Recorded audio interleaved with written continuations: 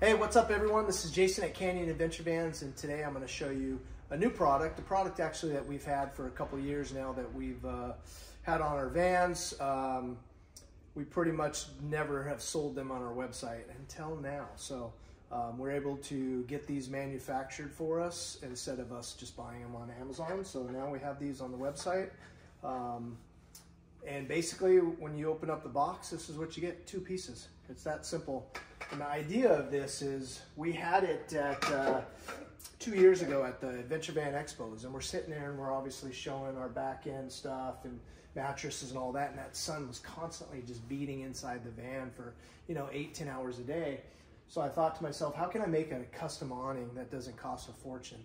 And uh, we ended up uh, getting some uh, shower curtain rods cutting them and making them work. And uh, um, we've had enough inquiries in the last two years that we decided just to go get them manufactured and offer them for i think $39 i believe we're selling these for um, so check it out. So this is what you do.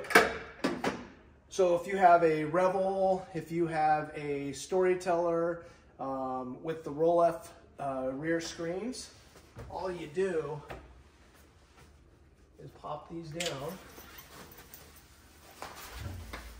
So in a roll in the Rolef screens on this bottom piece, there's normally, and I don't know what happened to mine, it's probably gone, but there's normally a piece of um, foam in, in here. So just a round piece of foam that goes all the way in here that just keeps it kind of straight, right? So it doesn't do all this and buckle and everything like that. So all you're gonna do is slide that foam out, save it, trash it, do whatever.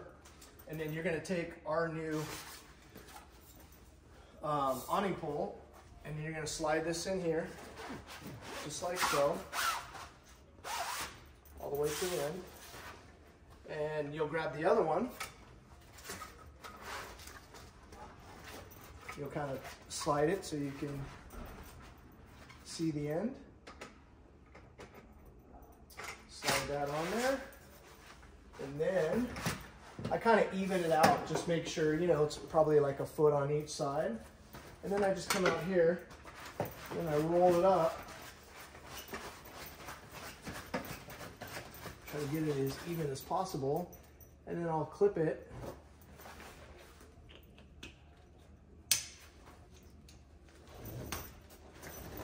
crank that down so it's nice and tight.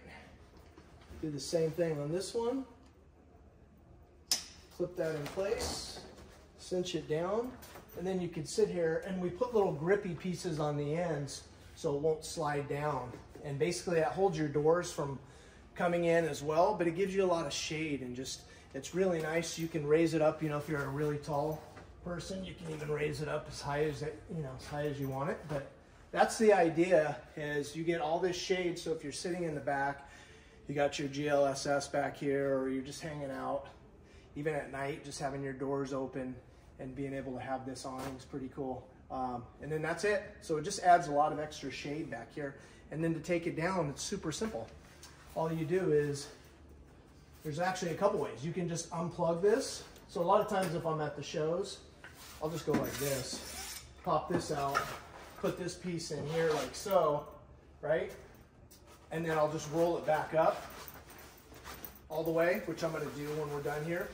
But you can also just let this go all the way down and then just tuck this um, rod back in there as well. But since we're gonna do it like this, all I do is just roll this up.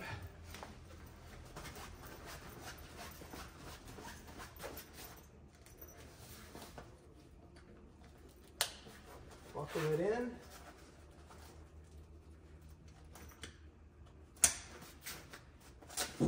Cinch it up. And that's it. Your awning pole is already in there. It's always ready to use. So anytime you wanna, you get to camp, it's literally super easy. Just come in here, drop it down, slide this piece in here. Get it to where you like it.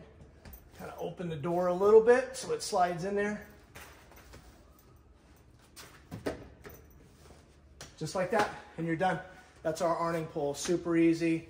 You don't have to stow it anywhere anywhere because it's already stowed in your Rolef uh, bug screens. So check it out on our website, canyonadventurevans.com. Thank you.